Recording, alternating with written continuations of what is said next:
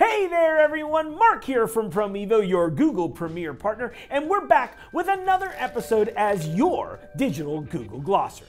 As always, leave a like, subscribe, and check back every week for new videos. On today's episode, we're talking about sandboxing. And no, I do not mean building Chrome castles in the sand.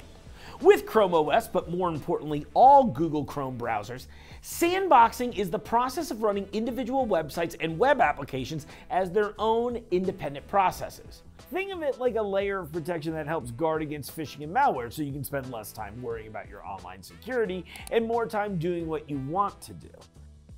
Sandboxing is enabled by default in all Google Chrome browsers, a benefit of using the Chrome OS. And because of that, if security threats such as viruses or other harmful code occur, they'll be restricted to the website or application that they originated in, preventing further damage to your browser and your computer. Just simply close the process and you're done.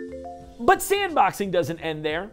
Another huge benefit of sandboxing within Google Chrome is how some of the most popular web plugins are handled. One of the most used web plugins is Adobe Flash Player, used for a plethora of online material like videos and browser games. Another popular use of web plugins is the ability to view PDF documents online. Because these are features that have become synonymous with the internet, plugins like these are frequently downloaded and installed in our browsers and in turn our machines. But something that doesn't occur frequently are the updates for said plugins. Instead, a new version is released and is downloaded just like before. In turn, out of date plugins can create known security vulnerabilities, putting you as a user at a high security risk. That's why Adobe Flash and PDF functionality is part of sandboxing with Google Chrome, including its automatic updates to ensure that you have the newest software available.